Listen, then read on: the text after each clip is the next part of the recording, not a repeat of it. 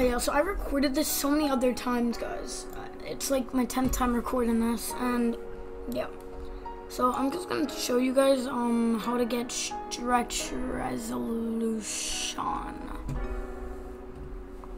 Yeah, I'm gonna show you how to get stretch res. Um, it's actually pretty simple. So basically, all we want to do is you just want to well with AMD obviously. Nvidia it's simple. AMD is not many. I posted one a long time ago, but I'm gonna post it again. So first, you want to make sure you have the software downloaded. To download it, just go to the website. The software download here. Go click download now. Go down, down, down, and click download your own software. Go through the process of um, installing it. Basically, after you're done installing it, what you all want to do is you just want to go right click AMD Radeon software, go on home, and then wanna go gaming. Go, your screen should look like this. Go global display. Right, and then you go custom res.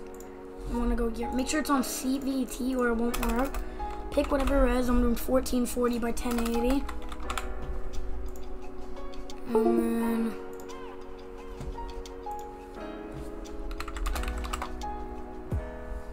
Alright, and now you go display settings right here. And make sure you have the monitor on, correct, monitor on. And over here, you'll go uh, pick the res you just added.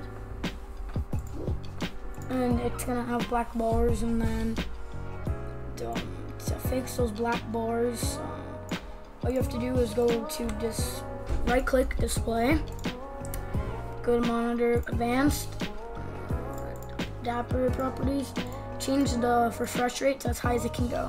And then you guys go. Oh wait, let me fix this. If you guys don't know how to record and stretch res, watch my um oh my coming out tomorrow. I'm gonna show you guys how. So yep. Peace. Bye.